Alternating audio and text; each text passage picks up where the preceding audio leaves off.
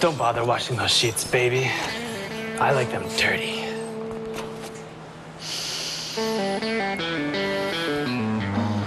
How about I wash these for you instead? Who's the man?